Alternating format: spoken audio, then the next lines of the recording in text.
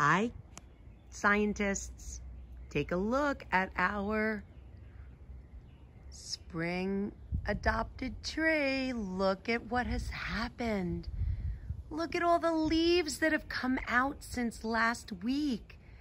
It really looks, it's not like those leaves were teeny tiny anymore. They're growing, growing, growing. Isn't that fascinating? Let me get a branch down. There we go. We got a branch down. Take a look. Look at the leaves getting bigger. They're getting much bigger. They're much bigger than they were last week, aren't they? And look at these whirly birds. Remember we said these are the seed pods of the tree? Take a look. There are so many of them. When these seed pods are ready to detach, they're going to come down with those, with, they twirl around like wings, like whirly birds. Okay, let's go see our, the other maple tree, the young maple tree. All right, here we are at our young maple tree. And when we look up, we can see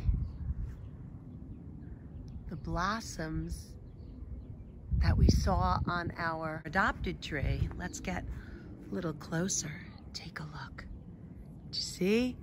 The blossoms, here, wait. Take a look at the blossom. Do you see? The blossom will open up. And when the blossom opens up, look what comes out. When the blossom opens up, look what comes out. These are going to be the tree's leaves. So they come right out of these blossoms. Remember how they looked like little dinosaur claws? They were hard and pointy and looked like dinosaur claws. Look how they've grown. Look at this. That doesn't look like a dinosaur claw at all. Look how it's grown. And the leaves come right out of here and they open, this opens right up and the leaves come out and they're teeny tiny at first and then they get bigger. So there's our update on our spring tree.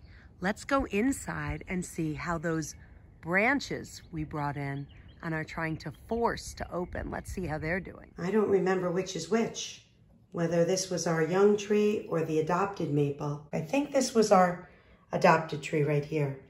It doesn't look like this one. This might not, this might have stopped blooming. Let's look at our young maple. Well, well, those hard little dinosaur feet are definitely gone.